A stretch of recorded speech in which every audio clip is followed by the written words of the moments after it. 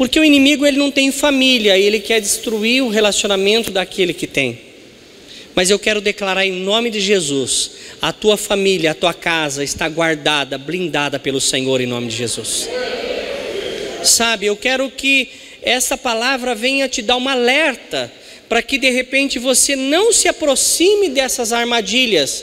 E se por um acaso você estiver preso ou presa, obrigado, Catarina em alguma dessas armadilhas que você rapidamente procure sair daí, porque não é lugar confortável, por mais que seja bom, agradável, mas lá na frente vai ficar ruim. Livro de Lucas, capítulo de número 21, versículo 34. Lucas 21, versículo 34. Encontraram aí, amém? Olha aí, eu quero ler com você o 34. O Senhor Jesus mesmo está falando, se a sua Bíblia é uma Bíblia que as letras vermelhas são a palavra de Jesus, você vai ver que na tua Bíblia está escrito em vermelho, porque foi ele quem disse. Está escrito assim: acautelai-vos, tome cuidado, acautelai-vos por vós mesmos, para que nunca vos suceda que o vosso coração fique sobrecarregado com as consequências das orgias da embriaguez, das preocupações desse mundo, para que aquele dia não venha sobre vós repentinamente como um laço. Quero parar aqui um pouquinho nesse versículo. Quando eu estava lendo esse versículo e eu estava buscando algo para que eu pudesse entregar para a família, entregar para o casal, entregar para aquele que tem o interesse em ter uma família já, está namorando, ou tem algum desejo nessa direção. Eu quero dizer para você que em algumas passagens, em vez de estar escrito orgia, ela também está escrito glutonaria ou glutão. Ela é uma palavra, quando Deus ministrou no meu coração, bem abrangente, que a glutonaria, como a orgia, é o desejo de uma realização minha particular. O glutão ou a glutonaria é uma pessoa que quer comer, comer, comer, comer e comer. Glutonaria. A questão que foi colocada, orgia, são desejos, realizações de fantasias das mais diversas áreas. E a palavra de Deus está dizendo que nós devemos tomar cuidado com o nosso coração, para não ficar sobrecarregado, para que você não entule o seu coração, o meu coração com essas coisas. Porque olhamos para a televisão de hoje, olhamos para os jornais, olhamos para a internet, tem muita coisa que às vezes é atraente, mas pode não ser bom. Pode ser coisas que nos estrague, que nos afaste das coisas de Deus. Irmãos, nós devemos tomar cuidado com tudo aquilo, mesmo você vendo que alguém está falando e fala assim: ah, isso aqui é de Deus, mas se aquilo que está dizendo te afasta das coisas de Deus, você precisa se afastar dessas coisas. Porque tem coisas que é boa, mas nos afasta de Deus. Um dia alguém perguntou para mim e falou assim para mim, pastor, é, uma cerveja gelada é ruim? Eu disse não, não é ruim, mas passa a ser ruim quando isso, que é um primeiro degrau de toda uma caminhada, me afasta da presença de Deus. Porque se o meu corpo é templo do Espírito Santo, eu só tenho que colocar dentro dele aquilo que Deus pede para colocar. Porque o meu desejo de repente é ter uma pichação na minha sala. Tem gente que tem um monte de cartaz colado, colado no quarto, colado na sala, aquele. Você aceitaria isso na, na sua casa? Não, não é o seu perfil, você é diferente. Ou você também pode aceitar, mas não é algo imposto, é você que tem que tomar uma decisão. O inimigo ele vai agir de uma forma que você aceite o que ele está propondo. A televisão, tudo isso faz com que aquilo seja uma coisa normal, mas na verdade aquilo nos mata. Pudim de leite é gostoso, aquele calda escorrendo assim, é uma delícia. Coma só isso para você ver, você vai ficar doente.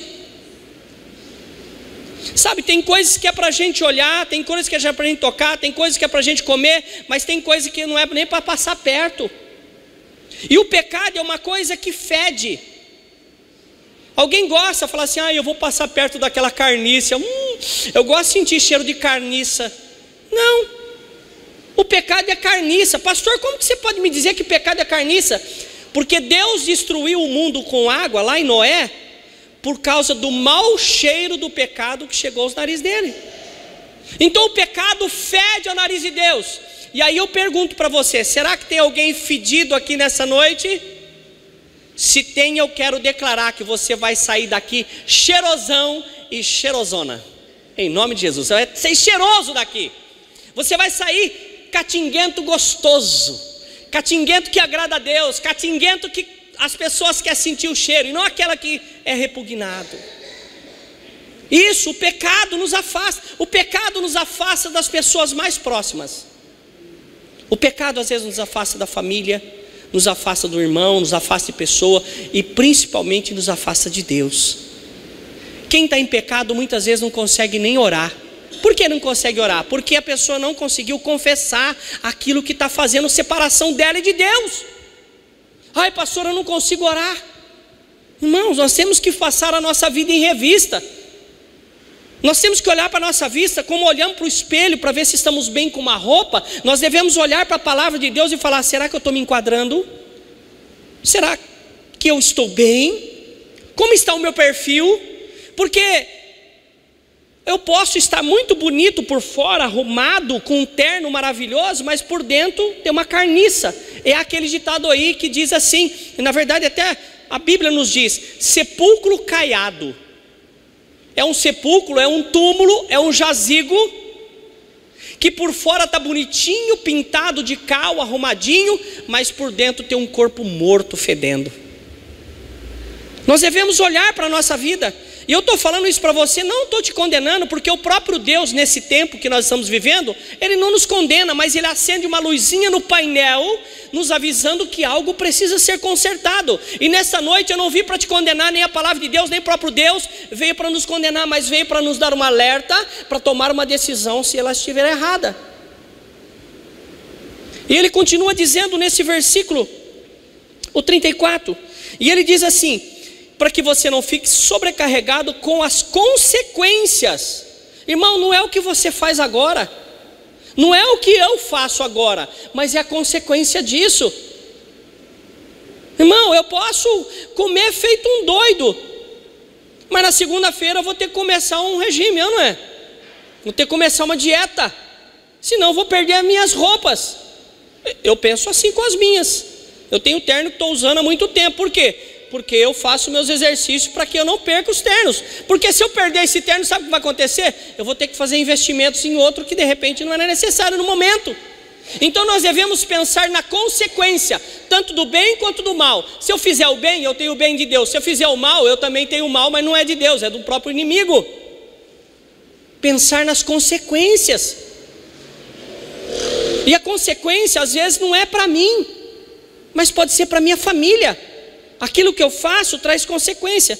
E ele fala de embriaguez. Embriaguez eu posso ser muito amplo com isso, não é somente embriaguez de uma, de uma bebida, mas é embriaguez a ser tomado por coisas erradas. Ele diz que eu tenho que tomar cuidado e das preocupações com esse mundo. Irmão, tem muita gente que está preocupada com as coisas desse mundo, sendo que nós devemos estar preocupados com as coisas dos céus. A palavra de Deus diz: buscai o reino de Deus e a sua justiça, e as demais coisas vão serão acrescentadas. Será que a gente não está preocupado muito com as coisas desse mundo?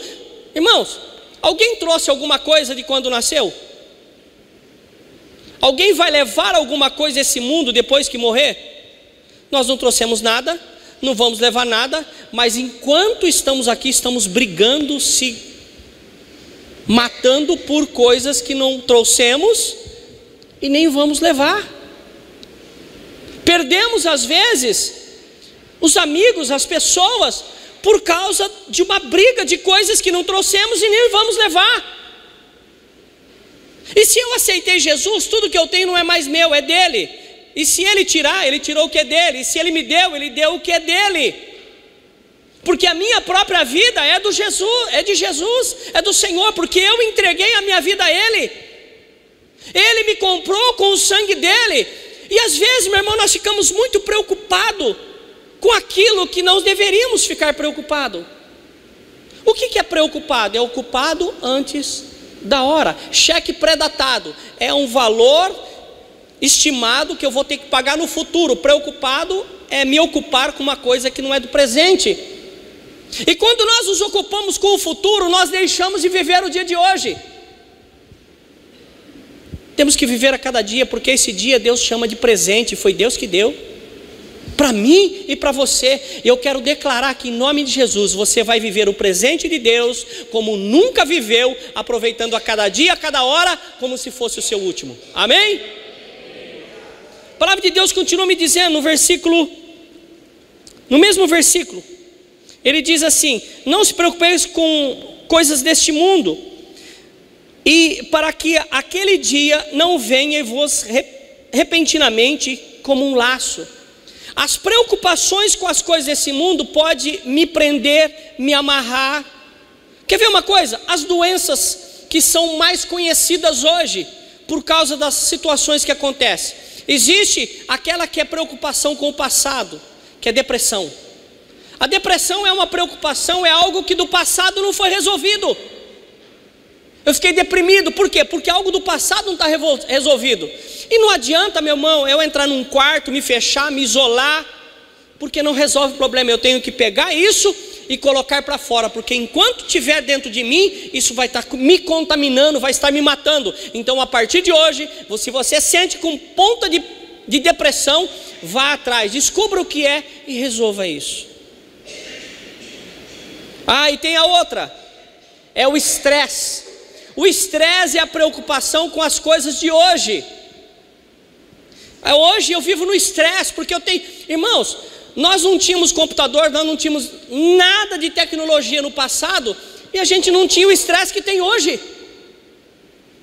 Hoje a gente pode resolver por telefone, a gente pode resolver por WhatsApp, a gente pode resolver por mensagem, a gente por MSN, a gente pode resolver por e-mail, a gente pode levar por vídeo. E vivemos sem tempo, o dia está se encolhendo, a tecnologia vem para nos ajudar, mas ultimamente tem nos atrapalhado. Então nós devemos nos preocupar, porque isso pode ser um laço, pode nos amarrar, pode nos prender em conquistar o amanhã. O versículo 35: Pois há de sobrevir a todos que vivem sobre a face da terra. Isso não é exclusividade sua. Todos que vivem na face da terra está sujeito a isso que eu acabei de dizer, de ser presas. E nós devemos olhar para nós e tratarmos as coisas com prioridade. Há muita informação. Quer ver uma coisa que pode impedir até o agir da fé? Quando eu sou muito metódico, ou quando eu estou estressado, ou quando eu estou depressivo, ou quando eu estou com o problema que é o problema do futuro, que é ansio, an, ser ansioso, é um problema que não chegou ainda, vai ser amanhã, não é hoje, mas ele vai chegar. Tudo isso me faz perder a fé. Pastor, como que eu faço para perder a fé? Eu começo a não prestar atenção na palavra de Deus. Meu irmão, você lembra o que foi pregado no último culto? Você lembra o que foi pregado há um ano atrás? Mas uma coisa eu quero dizer para você: aquilo te sustentou até o próximo culto, até a próxima reunião. Quando nós ouvimos a palavra, nossa fé é exercitada. Mas quando eu venho para o culto preocupado com uma coisa que vai acontecer amanhã, que isso é ansiosidade, é ser ansioso, é algo que vai ser amanhã, eu deixo de receber hoje. A minha fé não é fortalecida, mas eu quero declarar aqui em nome de Jesus Cristo: a tua fé jamais será abalada. Dê ouvido ao Senhor. Dê ouvido, ouve a palavra. Meu irmão, você saiu da tua casa, minha irmã, você saiu da tua casa, você veio para esse lugar, absorva o máximo, se alimente o máximo da palavra de Deus, que isso vai fazer com que você não enxergue os problemas que te cercam. Pedro, enquanto ele estava olhando por Jesus, ele não viu o rio fundo, ele não viu as ondas, ele não viu o vento, e ele andou por sobre as águas. Por quê? Porque os olhos dele não estavam observando coisas que estavam em volta dele, mas aquele que o chamou, e o Senhor te chamou para ser vitorioso, o Senhor te chamou para ser abençoado, o Senhor chamou para comer o melhor dessa terra. Mas às vezes, nós começamos a olhar muito para os problemas que nos cercam, e acabamos nos afundando nos nossos próprios problemas, que é aquele que Jesus levou na cruz. Por que, que é nossos problemas? Que a gente pega de volta. Se Jesus morreu no madeiro e levou tudo sobre ele, e nós nos pegamos nos problemas, isso está fazendo mal para nós. Ah, pastor, isso é fácil. Não, meu irmão, nada é fácil. Sabe, abrir mão de coisas. Quer ver uma coisa? Abrir mão de coisas que eu não gosto é fácil. Mas abrir mão de coisas que eu posso por causa de Deus, daquilo que eu gosto por causa da coisa de Deus, já não é para qualquer pessoa. Eu abri mão de um almoço por causa de um café da manhã, ou do almoço, ou de uma janta por um jejum, é difícil. Mas falar assim, eu não vou comer giló. Embora eu já comecei a comer giló, irmão. Não sei se é a idade que quer, mas estou gostando do giló. Não sei. Mas eu quero dizer, abrir mão de comer aquilo que eu não gosto, isso não é sacrifício. Sacrifício é falar assim: ó, eu não vou comer isso, eu vou abrir mão daquilo que eu gosto de fazer. Isso Deus enxerga. Eu fui fazer jejum na segunda-feira. Não, meu irmão, na segunda-feira você está pensando em emagrecer. Você está pensando em perder as calorias daquele churrasco, aquele costelão que você comeu, aquela lasanha que se esbaldou, aquele lanche cheio de bacon. Você está querendo jogar tudo isso fora? Faz jejum no domingo, na sexta-noite, no sábado. Hã? No dia que vai ter um churrasco, fala assim: hoje não, hoje vai ser dia de jejum. Irmãos, teve uma época aqui que eu fiz jejum de dois anos de refrigerante, abstinência, não é jejum. Eu falei: eu não vou tomar esse refrigerante porque eu tenho propósito. Fiquei dois anos sem tomar refrigerante. Irmão, teve uma vez aqui, eu estava num evento, eu peguei o copo do lado, dei uma golada, pus na boca assim, Hum, joguei fora. Eu estava quebrando, o meu desejo estava sendo mais alto do que o meu propósito. Os nossos desejos têm que ser mais aliás, mais fraco do que o propósito que você tem. Vou fazer jejum hoje. Aquela pessoa que nunca te convidou para comer nada, fala assim: quer em casa? Vai ter umas iguarias lá, você é minha convidada. Eu nunca te chamei e hoje você vai. Você fala assim, ó. Não, é nesse dia, você tem que abrir mão daquilo que você gosta por um propósito maior. Um propósito maior nós temos que ter. E o versículo seguinte, 36, nós estávamos nele. 36, vigiai, pois, a todo tempo. Irmão, tem que vigiar. Eu tenho que ficar olhando, eu tenho que estar acordado, eu tenho que estar ligado, eu tenho que estar esperto. Vigiai, pois, todo o tempo orando, para que possais escapar de todas essas coisas que têm de suceder e estar em pé na presença do Filho do Homem.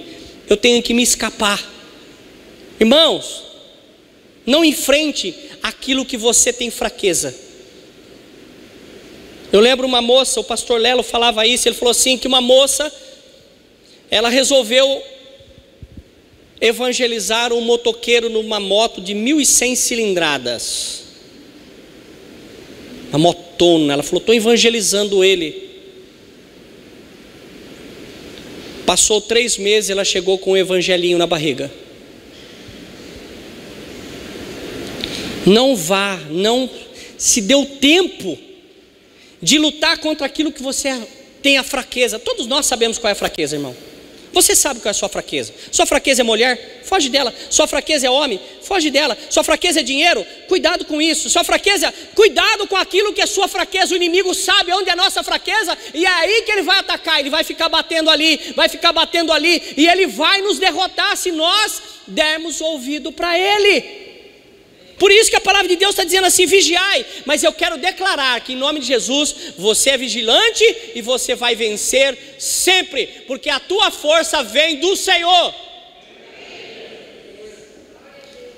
A palavra de Deus nos ensina, eu quero mudar um pouquinho agora que eu quero entrar nos casais. Isso foi de uma forma geral. Em Gênesis capítulo 2, versículo de número 24. Gênesis 2, 24. Isso aqui é fantástico, meu irmão, e nos dias de hoje a gente tem que tomar muito cuidado. Gênesis 2, 24. Olha o que está escrito aí.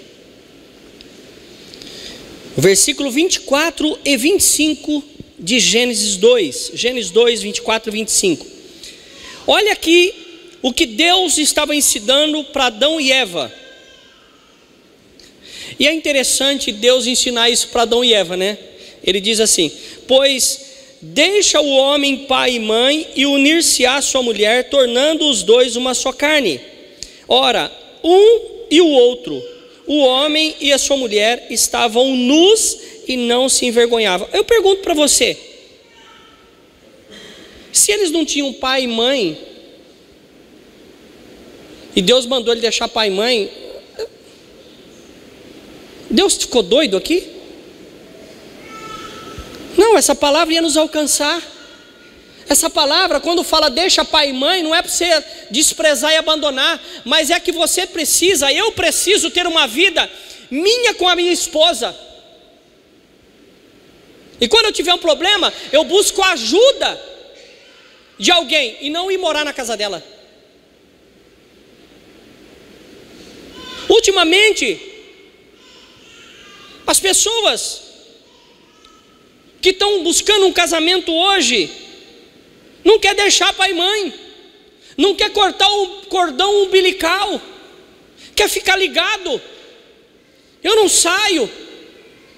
E quando não, a mãe vai na casa da, da nora, vai lá não para fazer uma visita, levar um presente, compartilhar um almoço gostoso, mas vai lá fiscalizar se a nora está cuidando bem do filho. Se o filho quisesse o cuidado da mãe, ele não tinha casado. Se ele casou, é porque ele quer o cuidado da mulher. Então para de ser enxerida. Para de meter o bedelho onde você não é chamada, onde não é chamado. Se ele deixou pai e mãe, deixa ele se virar, ensina ele sobreviver. Irmãos, eu vejo muito, sabe, isso estraga o relacionamento. Eu sei que todos nós encaramos problema, eu, tô, eu não estou aqui jogando confete em você porque eu sou bom, não. Eu estou falando que nós devemos fazer a coisa certa, mesmo que você está enfrentando luta, você tem que ensinar o que é certo. Não se intrometa, a decisão é lá. É ele que tem que tomar a decisão, é ela que tem que tomar a decisão.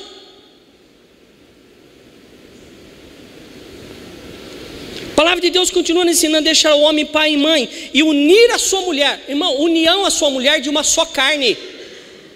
O que um faz, o outro tem que sentir e fazer. Sentir e colaborar. Sentir e opinar. Irmãos, o salário não é só do homem, não é só da mulher, é dos dois. Eu não estou aqui ditando regra para você, mas eu quero dizer para você que você é uma só carne com ela e ela com você. Eu posso ter os meus sentimentos, mas os meus sentimentos não pode ferir o meu sentimento com a esposa. O da esposa, ela pode ter o sentimento dela, mas não pode atrapalhar o relacionamento do marido. A palavra do Senhor está nos dizendo aqui, nos ensinando que nós devemos unir a esposa, o marido, e ser uma só carne. Como é uma só carne? Se que nem a senha, aliás, você coloca a senha no seu celular, você coloca a senha no, no na... e ela não sabe. Que relacionamento é esse? Assumi as coisas, não, nós somos uma só carne. Em casa, quando tem senha no negócio, não, dá um turbilhão lá em casa, não tem que ter senha em nada. O meu celular não tem senha, o da minha esposa não tem senha, o do meu filho, às vezes ele coloca, eu quero saber o que é isso aí. Eu quero saber o que está está falando. Eu não estou aqui tentando ensinar você a ser pai, eu estou falando daquilo que eu faço. Isso é prática minha. Eu falar do que eu não faço é fácil, mas eu tenho que falar daquilo que eu estou vivendo. Ensinar para outras pessoas. Irmãos, você sabe a diferença entre opinião e conselho? Opinião, a pessoa não está envolvida com você. Opinião você pode perguntar para qualquer um. Conselho você pode pedir só para aquela pessoa que se envolve com a tua vida, que chora por você, que luta por você. Essa pessoa é aquela que dá conselho, aquela que dói, aquela que está com você todo o tempo. Isso é conselho. Aquela que sofre com você, isso é conselho. Aquela que te dá uma opinião e vai viver a vida dela, isso não serve. E tem muita gente vivendo vida de opinião. Por quê? Porque não tem envolvimento. Quer ver um envolvimento? Você imagina uma galinha fazendo sociedade com uma leitoinha. E a galinha chama a porquinha, a leitoinha, para fazer uma sociedade. Ovos com bacon. A leitoinha, para dar o bacon, ela vai ter que morrer. A galinha é só os ovos. O envolvimento tem que ser por completo. O envolvimento tem que ser por completo. Uma só carne. Ossos dos meus ossos. Foi assim, a hora que Adão olhou para Eva falou assim: osso meus, claro que é osso meus ossos. E a mulher tem que preencher o espaço que falta no homem. O homem não é completo. Ei, você é machão. Você é machão que está me assistindo. Você não é completo sozinho. Você pode ter a vida que você quiser, mas completa quando a costela se completa. E nós muitas vezes estamos querendo viver vida, sabe? Marido de viúvo vivo, marido de esposa viva, não tem relacionamento, aparência.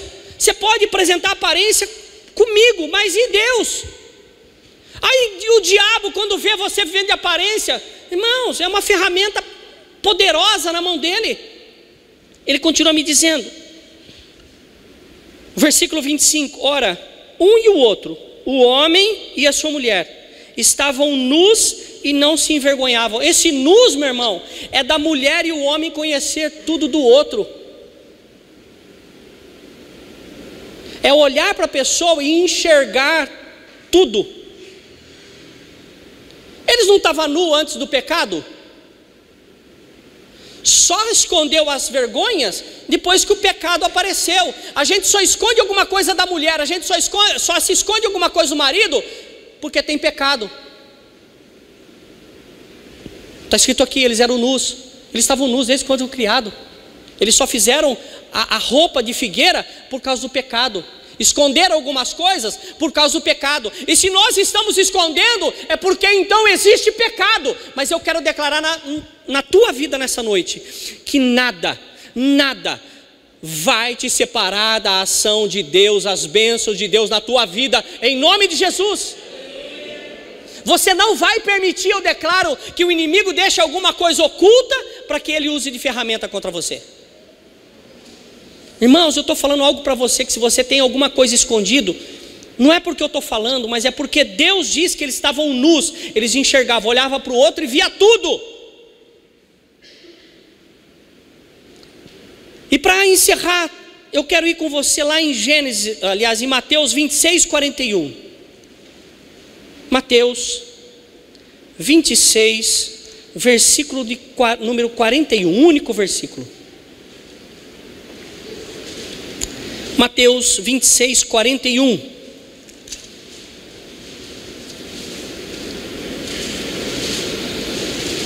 Outra vez aqui Deus nos ensina sobre vigiar.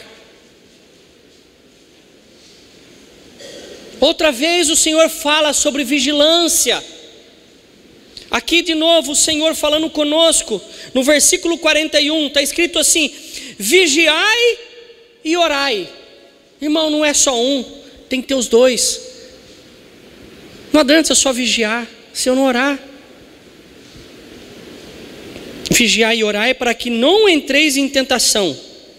O espírito, na verdade, está pronto, mas a carne é. Muitos falam assim: ah, eu pequei porque a carne é fraca. Eu vou falar um negócio para você de verdade. Quem peca e usa esse versículo para dizer que a carne é fraca, eu quero dizer para você que você precisa pensar muito bem, porque você está usando desculpa. O Senhor falou que é fraca. Se você sabe que é fraca, então fortalece ela. Pastor, como que eu fortaleço a carne? Ora, vigia e ora. Mas eu quero perguntar para você que está aqui na nave e você que está me assistindo: quantas vezes você tem orado a Deus? Tem vigiado? Irmãos, é algo para nós pararmos para pensar. A nossa carne de fato é fraca, e eu estou dizendo para você que é, e você vai tentar a sua carne, você vai pular como o diabo falou para Jesus: pule daqui abaixo, que a tua palavra tá, diz que está escrito, que Deus dá ordem aos seus anjos para que você não tropece e não caia. O que, que Deus falou? O que, que Jesus falou? Não tentará o teu Deus. Você tá, tem tentado a Deus? Irmãos, é algo que Deus falou para mim, para dirigir, porque tem pessoas aqui que estão tá precisando ouvir isso, porque está brincando com o pecado que nem sanção. E vai chegar uma hora que Sansão vai perder os cabelos, Sansão vai perder a sua força e vai ser vencido. Então não brinque com o pecado, o pecado vai te vencer se você brincar com ele. Trata o pecado como pecado e vença o pecado. Seja bênção, seja vitorioso, seja vitoriosa. Vença. Não brinque com o pecado. Principalmente aquele que é da tua fraqueza. O pecado de Sansão era mulher, ele era mulherengo. E qual foi o pecado dele? Com mulher. Qual foi o pecado de Salomão? Tinha mil mulheres, meu irmão. Ele foi atrás da egípcia, aquela que não, precisava mais de mulher, gente. Tudo que você tem foi Deus que deu. Se você não tem, espera Deus te dar. Não vai meter na mão naquilo que Deus não te deu. Isso tudo que eu estou falando, Deus ministrou o meu coração. Não sei se está servindo para você, mas serviu para mim. Deus me orientou: vigiai e orai. Não esconda nada da sua esposa. Osmir, não esconda nada da sua mulher. Seja nu diante dela. Que ela possa olhar para você e te reconhecer. Que ela possa olhar para você e quando você falar alguma coisa para ela, ela não ir lá no cantinho orar, Senhor, revela. Fala, não, meu marido falou, está falado. Eu não preciso desconfiar dele. Relacionamento. Relacionamento. Se a gente não consegue ter relacionamento com uma pessoa que a gente vê, como é que a gente vai ter um relacionamento com Deus que a gente não vê? Você já tinha pensado nisso? Nós devemos olhar para a situação e ver, vigiar e orar para que não entreis em tentação. Tentação não é aquilo que eu gosto. Você sabe a diferença de provação e tentação? Provação é aquilo que acontece que eu gostaria que não acontecesse. Tentação é aquilo que eu gosto e quando acontece, ah, estava tão bom, mas não devia ter acontecido. Tentação é aquilo que eu gosto, mas não posso. É aquilo que, é, que eu acho bom, mas isso me afasta de Deus. É tentação, é pecado. Levantar de manhã e encontrar o pneu furado, isso é provação. Levantar de manhã e encontrar uma coisa que eu não posso, né? Vamos imaginar, eu não posso comer pudim. E levando de manhã até aquele pudinzão delicioso lá, café da manhã, que eu não posso tomar, eu não posso comer pão, e tem pão lá. E aquele pão quentinho, sabe quando você passa a margarina assim, a margarina Aí você olha aquele, mas eu não posso. É falar não, eu gosto, mas não posso, não é momento. A palavra de Deus me diz que tudo, tudo me é lícito, mas nem tudo me convém. Eu posso fazer todas as coisas, se eu quiser, mas eu tenho que pensar na consequência daquilo que eu estou fazendo. Palavra, meu irmão, a gente tem que tomar cuidado com a língua. Lá no livro de Tiago fala que é colocado freio na boca do cavalo para dirigir o corpo. E às vezes nós estamos saindo da bênção, perdendo a bênção por causa cuidado, boquinha no que fala. Não sei se é assim, não vou continuar nem cantando que vocês vão querer ir embora, mas é por aí. Temos que tomar cuidado com isso aqui, que tem palavra, tem poder. Sabe? É algo que Deus tem tratado comigo. Não sei se está servindo para você. Deus tem tratado comigo. E ele continua, só para terminar. E o Espírito, na verdade, está pronto. E eu quero dizer que o Espírito Santo de Deus que está dentro da sua vida já está pronto. Você já está pronto. Mas nós devemos tomar cuidado com a fraqueza da carne. Eu quero declarar: você está pronto, você está pronto, porque o Espírito Santo de Deus está dentro de você. Então você está pronto. Mas tome cuidado com a carne que é fraca. a carne é fraca. Quer ver por que, que a... o inimigo, o castigo dele foi viver do pó da terra? Deus falou para a serpente: a partir de hoje você vai rastejar. Não sei se ela andava, voava, pulava. Você vai rastejar sobre o teu ventre. E o seu alimento será pó da terra. Do que, que nós somos feitos? Deus nos fez do pó da terra. Nós seremos alimento da serpente, do diabo, se não vigiarmos. A serpente, o diabo, se alimenta de pessoas, se alimenta de sentimento das pessoas, mas eu quero declarar que em nome de Jesus, você não é alimento de ninguém, você é templo do Espírito Santo de Deus. Vaso de barro, onde Deus pode fazer de você algo que Ele quer, em nome de Jesus. Vigiai e orai para que não entreis em tentação. O espírito, na verdade, está pronto, mas a carne é fraca. E eu quero declarar nesta noite que você é forte, porque a tua força não vem de você, a tua força vem do Senhor. Você pode todas as coisas, porque o Senhor te fortalece.